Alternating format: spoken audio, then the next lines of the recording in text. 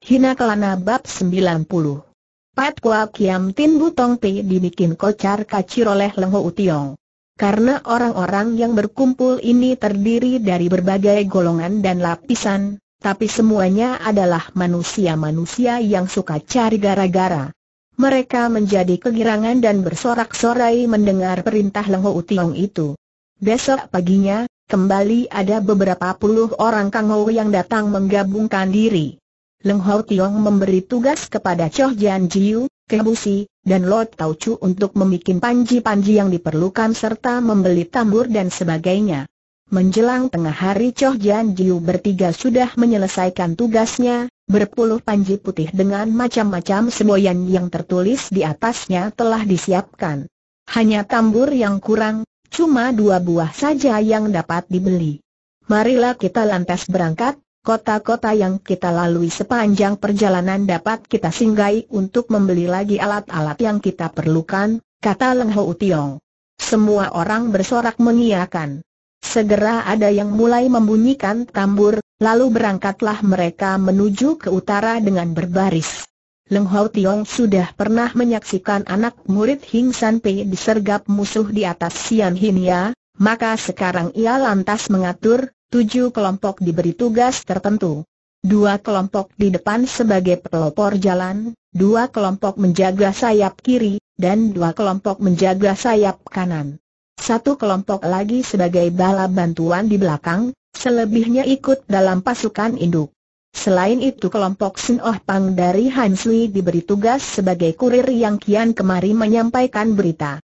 Sin Oh Pang adalah gerombolan orang-orang Kangou setempat, wilayah pengaruhnya cukup luas, maka segala kabar berita yang penting dapat diketahui mereka dengan cepat.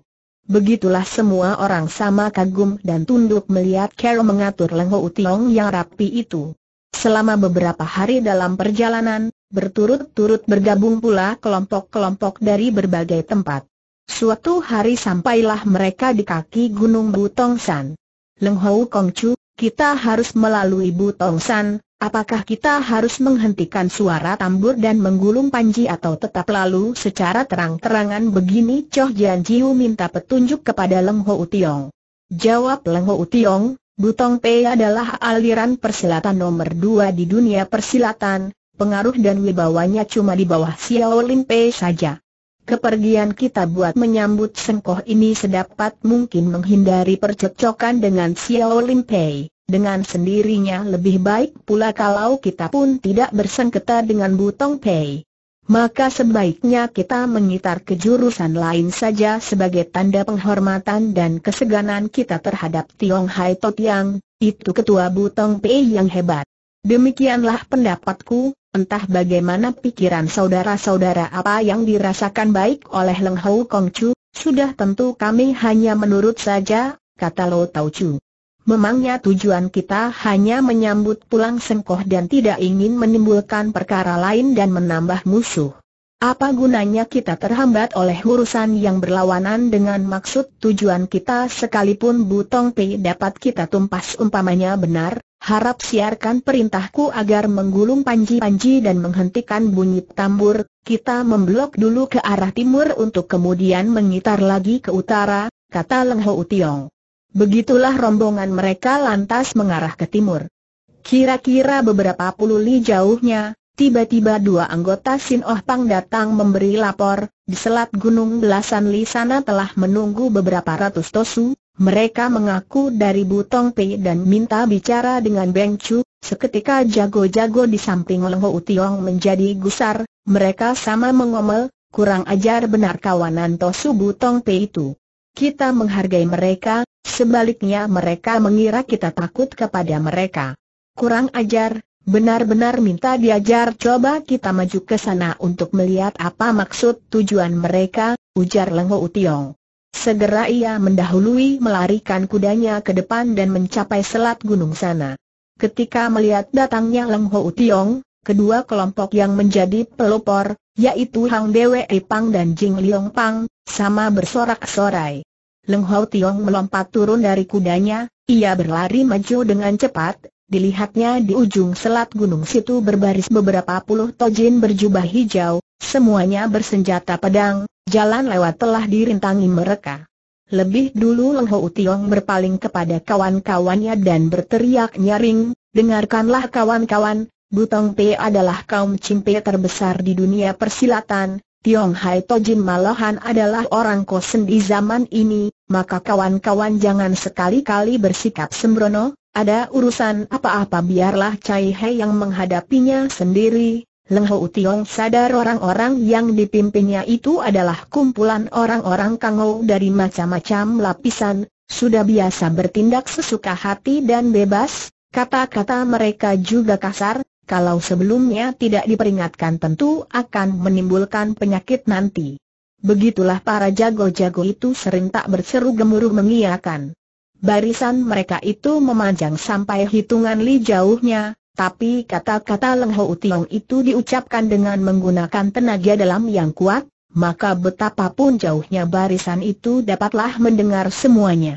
Suara mengiyakan yang gemuruh dari beberapa ribu orang itu membuat kawanan Tojin itu menjadi gentar juga, hal ini tampak dari air muka mereka yang berubah. Lalu Leng Ho Tiong berpaling kembali, Katanya sembari memberi hormat kepada kawanan Tojin itu, Cai He bersama rombongan hendak menuju ke Xiao Lim Si untuk menjumpai Hang Ting Tai Sudan untuk sesuatu urusan penting, kebetulan kami harus melalui Butong San sini, agar tidak menimbulkan kegaduhan yang bisa mengganggu ketenteraman para Totiang, maka kami sengaja mengitari jalanan ini. Harap maaf bila kami tidak menyampaikan kabar sebelumnya, Kau nikah murid murtad Hoa San Pei yang bernama Leng Ho Tiong dan sekarang telah masuk Mo kau bukan tegur seorang tojin berjenggot panjang sembari memasukkan pedang ke sarungnya. Sikap bicaranya sangat tangguh, kata-katanya juga kurang ramah. Sebenarnya Leng Ho Tiong adalah pemuda yang tidak tunduk kepada adat istiadat, juga tidak kenal apa artinya takut, kalau dalam keadaan biasa tentu dia kontan menjawab ucapan Tojin itu dengan kata-katanya yang sama kasarnya. Tapi sejak dia diangkat menjadi bengcu oleh gembong-gembong Kangou itu, mulai saat mana ia telah memperingatkan dirinya sendiri agar selanjutnya harus bertindak secara hati-hati dan pakai perhitungan, terutama mengingat kewajibannya dan betapa pentingnya tugas menolong Inging yang terkurung di Xiao Lim Si itu. Oleh karena itu walaupun kata-kata Tojin jenggot panjang itu sangat menggusarkan hatinya tapi ia tetap menghadapi dengan tersenyum tawar saja, jawabnya, ya, Cai Hei memang betul adalah Leng Ho Tiong, murid buangan Hoa San Pei. Tapi tuduhan masuk menjadi anggota Mokau adalah tidak betul, jika kau tidak masuk mau kau kenapa kau rela menjadi antek hekbokkah dan mau memimpin manusia jahat dan cabul dari mau kau ini? Pergi mencari setori kepada Xiao Lim si kata pula Tojin berjenggot panjang itu. Belum Leng Ho Tiong menjawab, mendadak To Kim Sian menimbrung, kau bilang kami adalah manusia jahat dan cabul dari mau kau, memangnya kau sendiri manusia baik dan terpuji dari kau? Kulihat jenggotmu terlalu panjang, Betapapun baiknya juga begitu-begitu saja, baru kata saja diucapkan, serentak To Kansian, To Kisian, To Yapsian, dan To Hoasian berempat sudah melompat maju, tahu-tahu To Jin jenggot panjang itu telah kena dipegang kedua tangan dan kedua kakinya terus diangkat ke atas. Pada detik yang hampir sama pula, dalam sekejap itu dari rombongan Tojin Tojin itu pun melayang maju delapan sosok bayangan, Delapan batang pedang telah menyambar tiba, enam pedang mengancam di punggung tokok laksian dua ujung pedang yang lain masing-masing mengancam tenggorokan dan perut Leng Ho Tiong. Cepat luar biasa menyambar tibanya ke delapan pedang tojin-tojin itu, Carol menyerang mereka juga sangat rapat dan saling menutup titik kelemahan masing-masing, delapan orang laksana satu orang saja. Begitu melihat gerakan pedang mereka segera Leng Ho Tiong tahu mereka tidak bermaksud mencelakai lawan, maka Leng Ho Tiong juga tidak menangkis dan membiarkan kedua pedang itu mengarah tempat berbahaya di tubuhnya, ia pikir asalkan kedua orang jelas bermaksud mencelakainya, sedikit ujung pedang mereka disodorkan seketika juga dirinya masih sempat melolos pedang dan mematahkan serangan mereka terdengar keempat tosu membentak serentak, lepaskan karena punggung mereka terancam oleh ujung pedang, Tokin Sian berempat sadar tak bisa berbuat apa-apa lagi, terpaksa Toho Asian berkata dengan tertawa, lepas ya lepas, memangnya kau kira aku sudi memegangi dia lebih lama? Eh, awas, berdiri yang baik berbareng Tokin Sian berempat terus melemparkan Tojin jenggot panjang itu ke atas. Seketika Tojin itu merasa tubuhnya melayang ke udara dan entah akan terlempar ke mana, bukan mustahil akan terus melambung ke udara dan kecantol di cabang pohon atau terus terjerumus ke dalam jurang.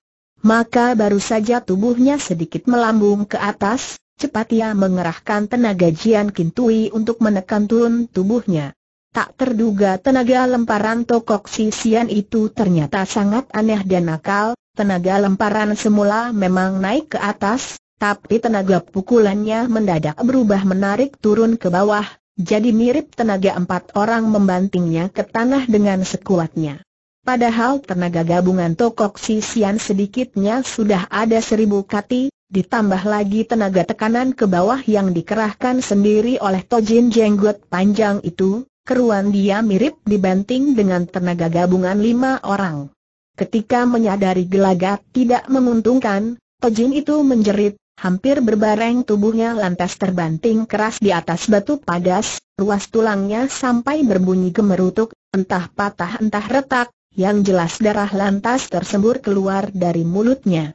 Pada saat itu juga Leng Ho Tiong sudah lantas melolos pedang, terdengar suara mendering berulang-ulang, sekaligus ia telah menangkis pergi delapan pedang musuh. Rupanya begitu melihat si Tojain jenggot panjang terbanting begitu hebat dan bisa jadi terus mati, Leng Ho Tiong menduga kedelapan Tojin yang lain mungkin sekali akan terus menyerang serentak. Dan benar juga, sekaligus ia telah dapat mematahkan serangan mereka.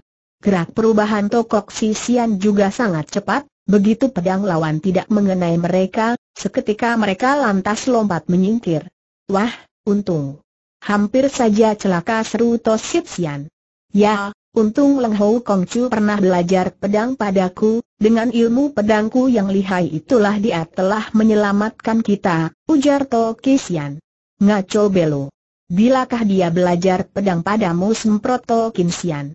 Dalam pada itu, sesudah Leng Ho Tiong sekaligus dapat menangkis serangan ke delapan pedang mereka, serentak ke delapan tojin itu lantas berputar kian kemari dengan cepat luar biasa, begitu berada di belakang Leng Ho Tiong mereka lantas menusuk, kena atau tidak tusukan mereka bukan soal, segera mereka terus menggeser lagi ke tempat lain secara bergilir.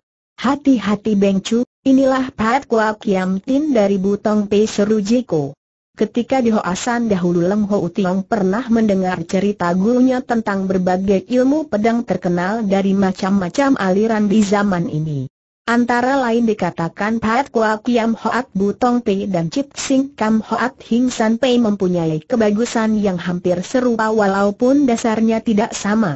Begitulah Leng Ho Tiong dapat menangkis setiap serangan Tojin-Tojin itu, dilihatnya gerak pedang ke delapan orang dapat bahu-membahu, bantu-membantu dengan sangat rapat, sedikit pun tidak memperlihatkan lubang kelemahan. Inti toko Kyo Kiam yang diyakinkan Leng Ho Tiong adalah dalam hal kelihayan mengincar titik kelemahan ilmu silat musuh, jadi tanpa ikatan sesuatu jurus tertentu untuk mengalahkan jurus ilmu silat lawan yang tertentu. Maklum, betapapun tinggi ilmu silat seorang, betapa bagus jurus serangannya, baik dikala menyerang maupun di waktu mengakhiri serangan biasanya pasti dapat diketemukan lubang kelemahan, sebab itulah tiada sesuatu gerak serangan di dunia ini yang tak dapat dipatahkan. Cuma sekarang ilmu pedang gabungan ke-8 Tojin ini ternyata sangat hebat, ada juga lubang-lubang atau ciri-ciri tertentu pada gerak serangan setiap orang, tapi selalu dapat ditutup oleh bantuan kawan yang lain sehingga sukar dipatahkan. Untungnya kepandaian ke-8 Tojin itu tidak terlalu tinggi, Pat Kwa Kiam Hoat itu agaknya baru dipelajari sehingga daya tekanan mereka kurang kuat. Meski seketika Leng Ho Tiong tidak dapat membobolkan barisan pedang mereka, tapi serangan-serangan ke-8 Tojin juga tidak mampu melukai Leng Ho Tiong. Kedelapan Tojin itu berlari semakin kencang mengitari Leng Ho Tiong, sampai orang-orang yang menonton di samping merasa pusing, bahkan ada yang merasa khawatir bagi Seng Beng Chu. Mereka berdelapan mengerubut satu orang, hayolah kita pun maju lagi tujuh orang demikian seru Jiko. Nanti dulu, selakah busi. Kedelapan orang itu mengutamakan kecepatan langkah mereka, padahal soal ilmu pedang jelas mereka bukan tandingan Leng Hou Kong Chu. Kata-kata ini seketika menyadarkan Leng Hou Tiong, pikirnya, benar, ilmu pedang mereka dapat bekerja sama dengan rapat, tapi langkah kaki mereka jelas tak bisa saling membantu. Segera Leng Ho Tiong berseru, setelah berkenalan dengan Pat Kua Kiam Hoat Butong Pei, ternyata memang benar sangat hebat. Kedelapan toti yang sudah selesai main pedang, sekarang silakan mundur saja, akan tetapi Tojin-Tojin itu mana mau mengundurkan diri, mereka masih terus berlari cepat mengitari dan serangan demi serangan tetap dilancarkan. Leng Hao Tiong tersenyum, ia tanggalkan sarung pedang yang tergantung di pinggangnya, sarung pedang itu disodorkan miring ke atas tanah. Ketika seorang Tojin berlari di sebelah dengan cepat dan tidak keburu mengerem, kakinya lantas kesandung sarung pedang, tubuhnya terhuyung-huyung ke depan, untung kuda-kudanya cukup kuat sehingga tidak sampai jatuh terjerembab. Namun dengan lepasnya seorang dari barisan pedang, Seketika Pat Kua Kiam Tin itu bobol. Leng Hao Tiong terus menggunakan sarung pedang untuk dipasang pada tempat-tempat yang harus dilintasi oleh kaki ketujuh tojin yang lain, maka terdengarlah suara seru kaget dan teriak kejut berulang-ulang.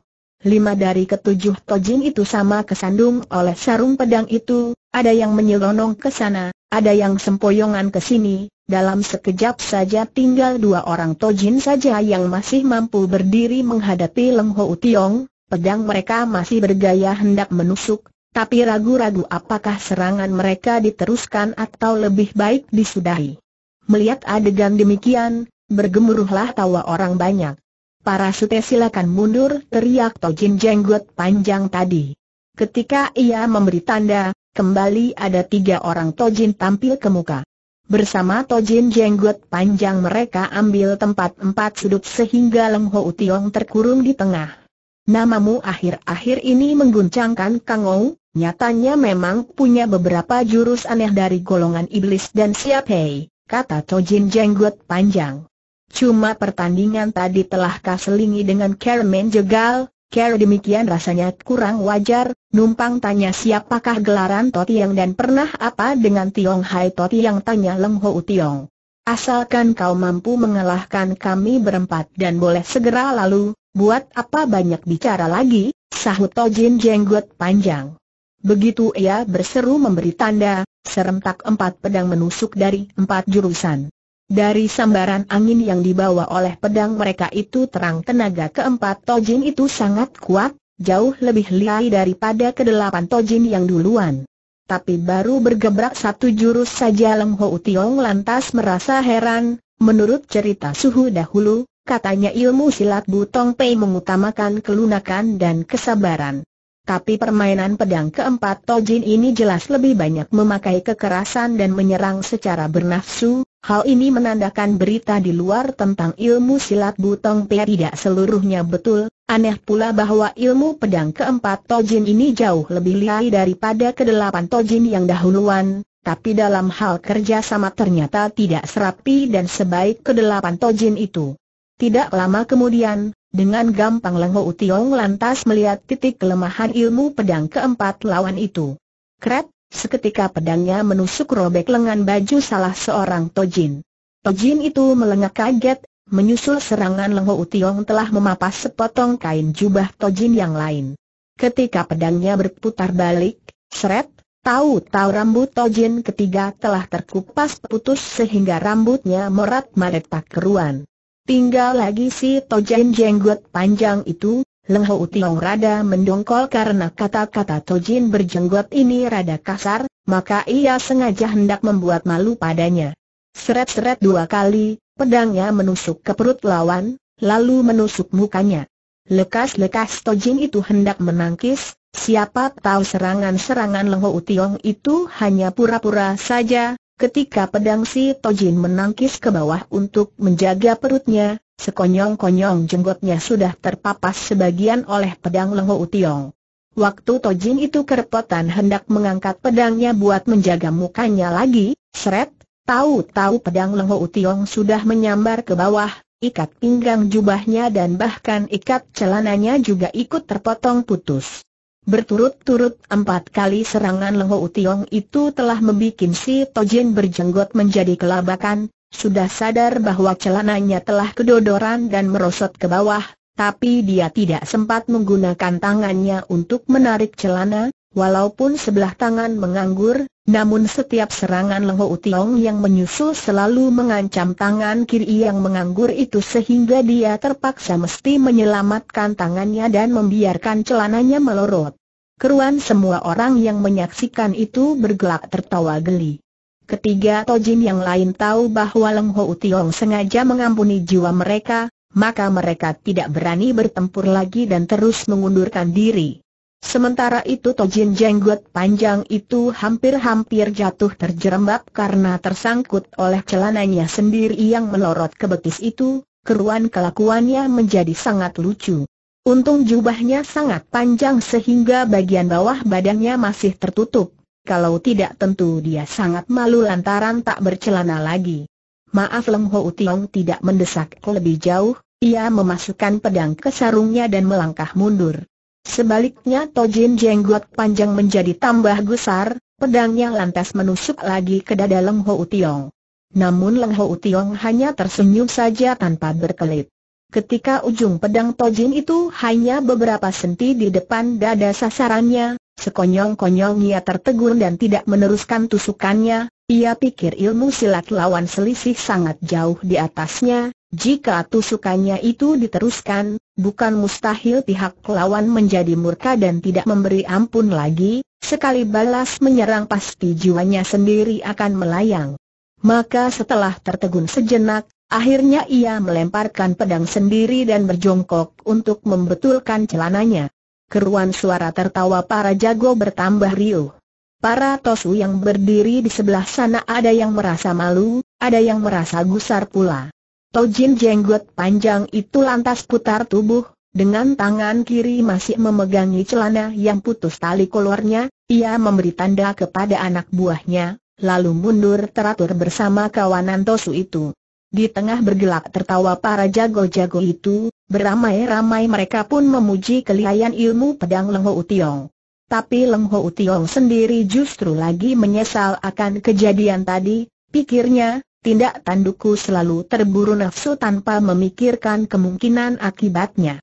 Meski aku mendapat kemenangan, tapi nama baik Butong Pei telah tersapu bersih, ini berarti telah menanam bibit permusuhan. Sebenarnya apa gunanya terdengar Choh Jian Jiu sedang berkata, ilmu pedang Leng Hou Kong Chu sungguh sakti, baru hari ini kita dapat menyaksikannya.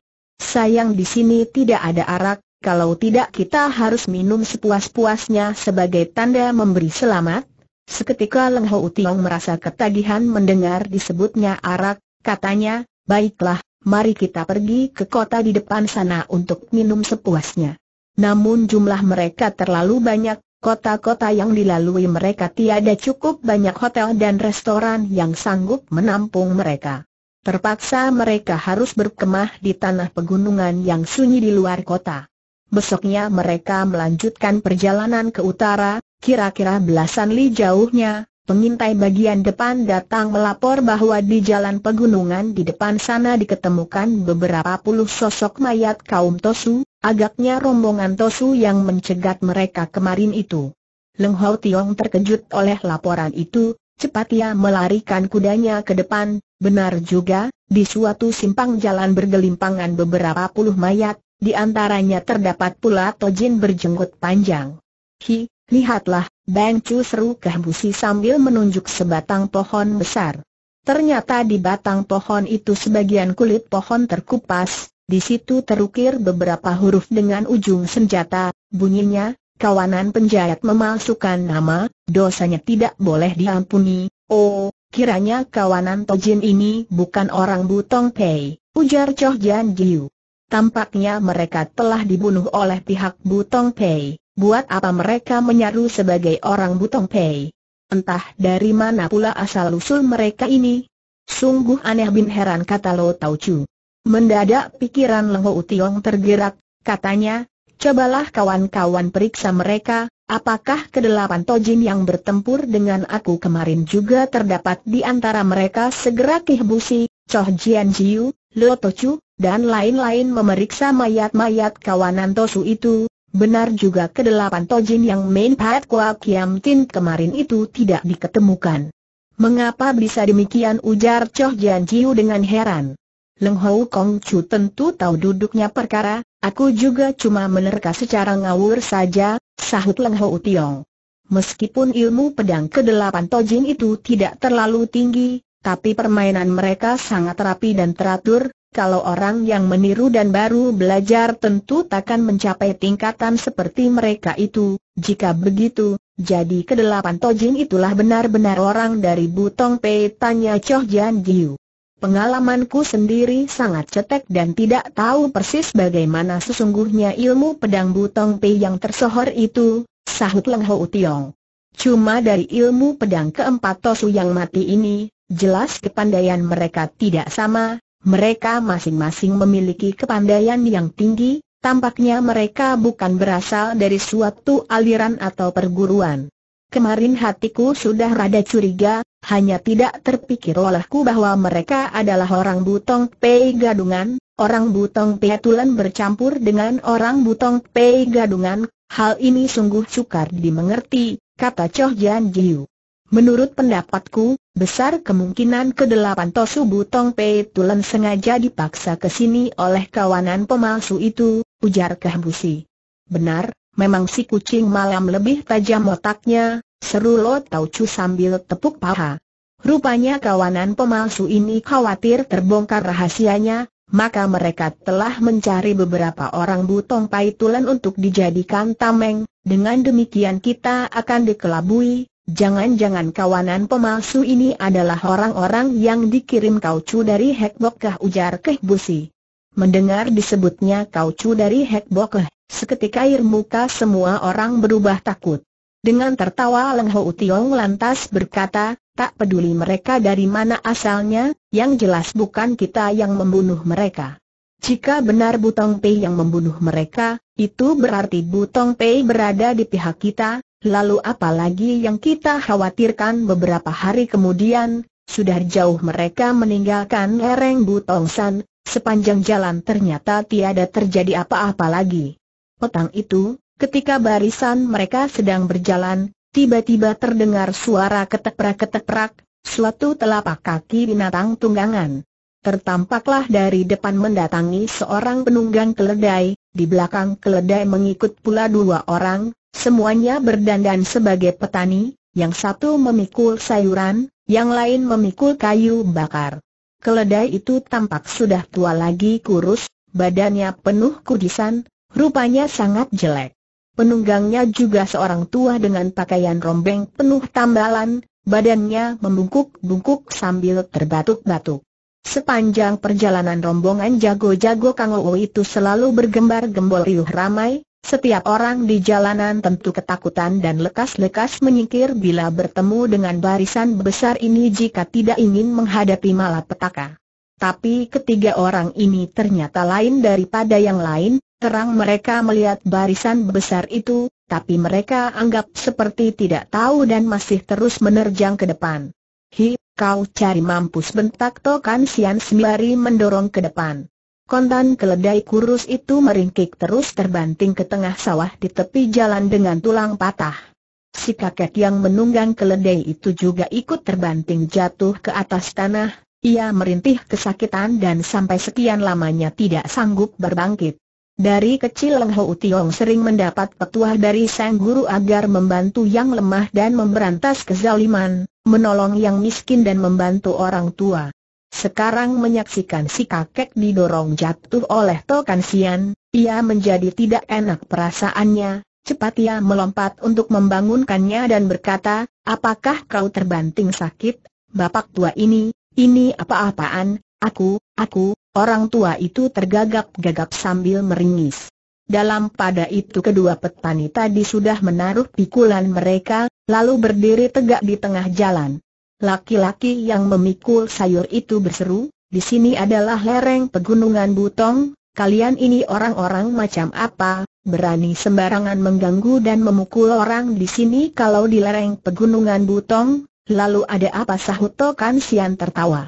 Di kaki Butong San sini setiap orangnya bisa main silat, kalian orang dari daerah lain berani main gila ke sini, bukankah itu berarti kalian tidak tahu gelagat dan ingin cari penyakit kata orang itu? Usia kedua laki-laki petani itu rata-rata sudah tahun 1950-an, semuanya telanjang kaki dan cuma memakai sepatu sandal dari rumput kering, muka mereka pucat dan badan kurus, waktu bicara pemikul sayur ini malahan tampak terengah-engah napasnya, tapi ternyata mengaku mahir silat. Keruan tertawalah orang banyak. Apakah kau sendiri mahir ilmu silat demikian Toho Asian bertanya dengan tertawa. Di kaki Butong San sini anak umur tiga tahun sudah bisa main pukulan, anak umur lima tahun sudah mahir main pedang, kenapa mesti heran sahut pemikul sayur. Dan dia, apakah dia juga mahir main pukulan tanya Toho Asian pula sambil menuding laki-laki pemikul kayu tadi. Aku, aku, di waktu kecil aku memang pernah belajar beberapa bulan lamanya, kata laki-laki pemikul kayu itu. Tapi sudah berpuluh tahun aku tidak pernah berlatih, mungkin, mungkin sekali sekarang sudah kaku, si tukang pikul sayur lantas menyambung, ilmu silat butong pen nomor satu di dunia ini, cukup berlatih beberapa bulan saja pasti kau tidak mampu melawannya, bagus, jika begitu cobalah kau pertunjukkan beberapa jurus kepadaku, ujar Toho Asian dengan tertawa. Beberapa jurus bagaimana?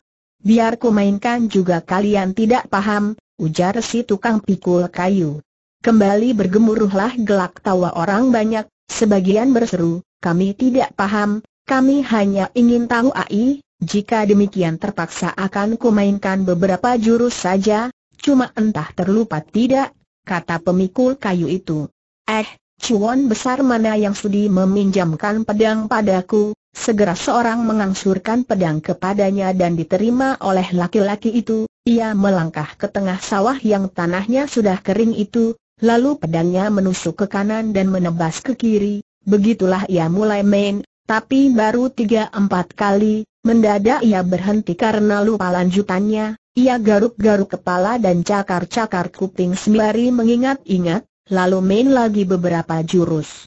Melihat permainannya itu sama sekali tidak keruan, gerak-geriknya juga lamban dan ketolol-tololan, semua orang sama tertawa terpingkal-pingkal. Apanya yang lucu, kenapa kalian tertawa ujar laki-laki pemikul sayur? Coba pinjami pedang, aku pun akan main beberapa jurus, setelah pegang pedang segera ia pun membacok dan menusuk serabutan, gerakannya sangat cepat dan caranya seperti orang gila, Keruan orang banyak tambah geli menertawakannya.